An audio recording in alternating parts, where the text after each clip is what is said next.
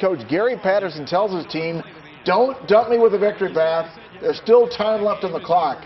The clock runs down, and the Horned Frogs run down their coach, and he does not look too happy.